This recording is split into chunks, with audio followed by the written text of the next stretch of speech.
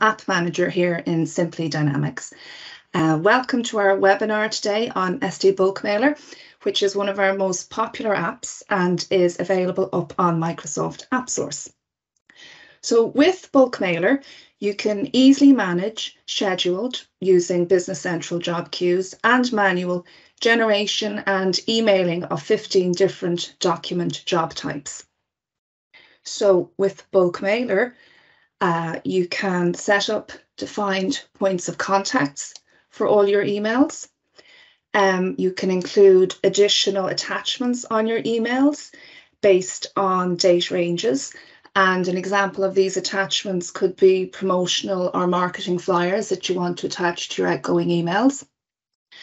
Uh, with bulk mailer, you can also use a HTML editor to define the templates for the subject and body of the emails, allowing you to create a professional and consistent look and feel to all your email communications that are issued um, and generated from SD Bulk Mailer.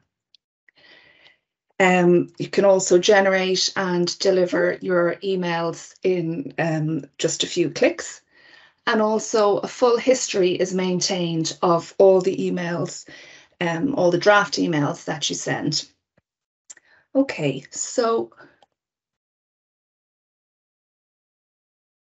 with bulk mailer, um, we have 15 different job types, um, job document types uh, that you can generate an email. And when you download bulk mailer from AppSource, you can use the assisted setup action here.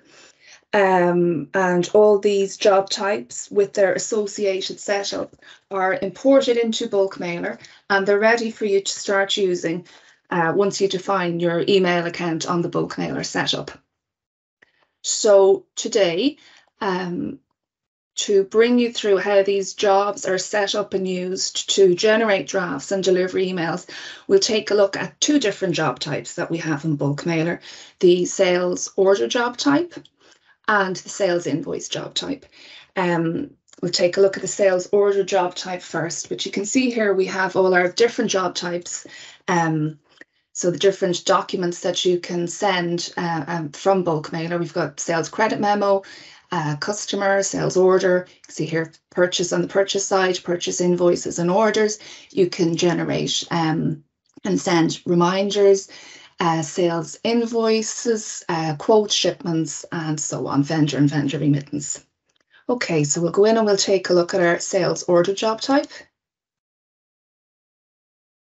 Um, and here in the job card for the sales order, um, you can set your delivery method. I'll just go through a few, a few of the key setup uh, fields.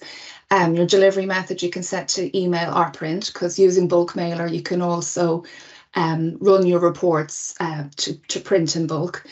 Um, but we were looking at the emailing side today. Um, we have security in bulk mailer, which allows you that you can limit um, your users. You can um, add them to a user group and you link this user group then to bulk mailer and it's only users within that assigned user group that can generate or deliver the documents from uh, bulk mailer. Um, the output, output file type, um, you can choose PDF, um, Word or Excel um, document attachment. Um, choose your report ID and this is the report ID that you want to generate your emails for. So here for this example, for our, uh, our webinar here, I'm just using the standard uh, Business Central sales order confirmation report. Um, and also we have in our later version, our, our newer versions of uh, bulk mailer, we have the option that you can use the um, email body layout and the standard Business Central functionality in place of the bulk mailer templates um, that you can define for the job. Um, I'll show you the templates in the sales order. Within these templates, you can define your um, su your subject and your uh, body of the email, how you want your email to look. But for this example, with the sales order, we're just going to use the standard email body layout. Um, when you pick this option, you can choose to attach your document to the generated email, which will mean that you can choose to have the email body layout as per this. um, and also attach the report from um, this report ID here to your generated email. Um, also in the job cards, you can use filters. So these filters here, we can filter a sales order report um, to print only um, sales order reports for document dates greater than equal to that date and with um, a status of released.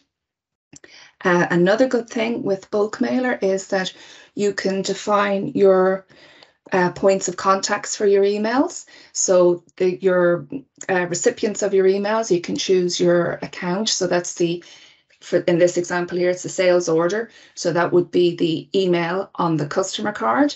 Um, you can choose to send to the email of your contact, which is what we're using here in this example. Um, you can choose to send to the email address associated with the document, so the sales order document or the document contact. You can also choose to send your generated emails to your job responsibility contacts for the individual customers, and um, also to the mailing group contacts if you want to set those up, and also to a specific address. Um, and the specific address is good in situations where perhaps you want to send the emails to your account contact, your sales order, but you also want to get a copy sent to your own maybe um, in-house accountancy um, person in-house. So you that's where you could choose the specific address. Um, and then again, we have our additional attachments here. I'll just show you these. So these would be, say, your marketing or your promotional info you might want to send out with your sales order um, for a period of time, a certain period of time. So you can easily just set these up here with your from to dates. Um, and they, when you're report, when you generate your emails, then your drafts, um, these um, additional attachments will be attached to each of the sales orders. Okay, so it's as simple then as just choosing to generate the drafts. And we'll let those run in the background. So this is running the sales order report um, and it will um, show up here in the drafts now. Okay, so we can go back into our draft list here. And we can see our sales orders have generated. So here we can see it's picked up our defined points of contact. It's our specific address and then the um, account contact, which will vary for each of the different customers. Um, you can see also that um, our additional attachment, our flyer, has been attached along with the actual sales order itself. Um, and we can get a preview here of what the email um, will look like. So there's the standard Business Central email body layout um, that is defined for that standard report that we're using for this job. Okay, so you can send it in. I'll just issue one draft, but you can send these all in bulk once you review them, once you're happy with them. And it's just as simple as just issuing that draft. So that's going to go to me and I'll show you how that looks once it hits my um, inbox.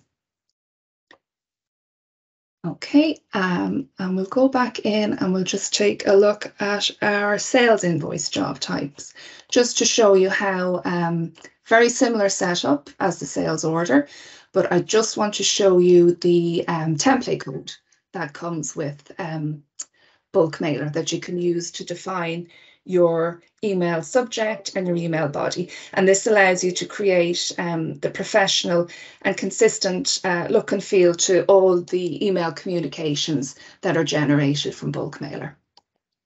So this is our template here that we've defined for this job type of sales invoice. And you can define these templates for, for all of your jobs. So here you can see we can use placeholders for this job type of sales invoice placeholder fields here.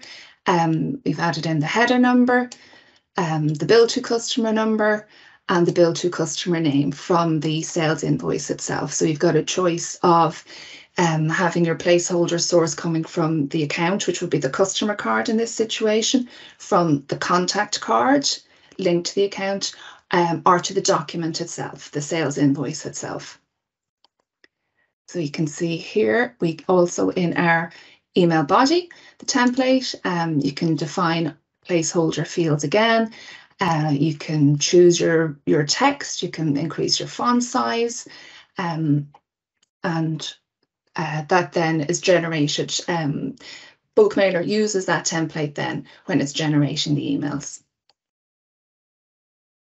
So we'll go back into our sales invoice and again, we'll just generate our drafts for our sales invoice report. And I'll um, show you how they look then as well.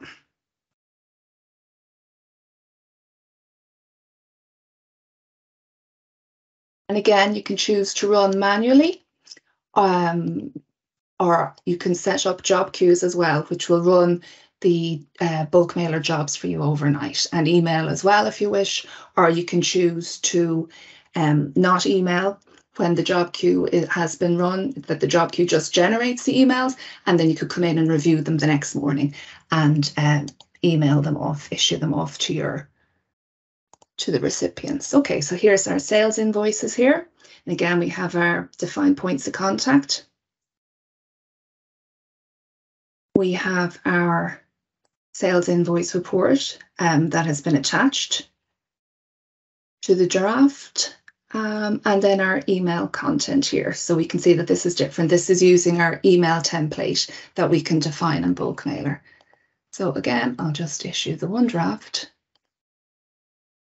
And I can show you how that looks.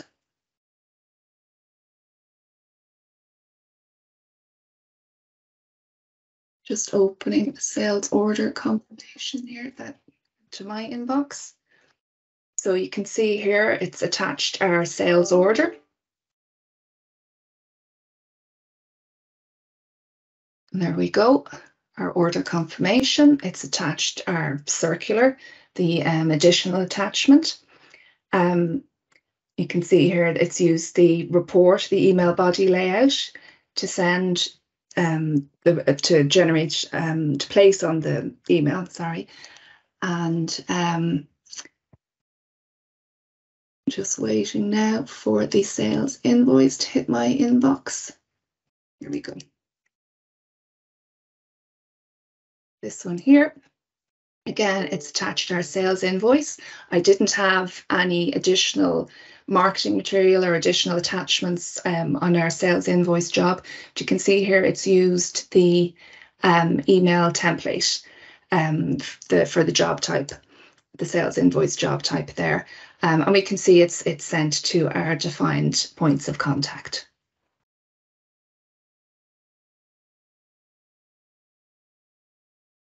Okay, so just um, again, just to mention that Bulkmailer is available in AppSource. Um, we offer a 30-day free trial. Um, no credit card details are required when you're setting up uh, to use the free trial, and you can use the assisted setup that I mentioned earlier um, when you've downloaded Bulkmailer and that will import all these uh, 15 different job types um, and you're there ready to go. You can um, set up Bulkmailer, then um, fill in your own account, email account details, um, and maybe modify the recipients, and you're good to go to start emailing and generating your emails from Bulkmailer. Okay, so thank you for listening and for your time. Does anyone any questions?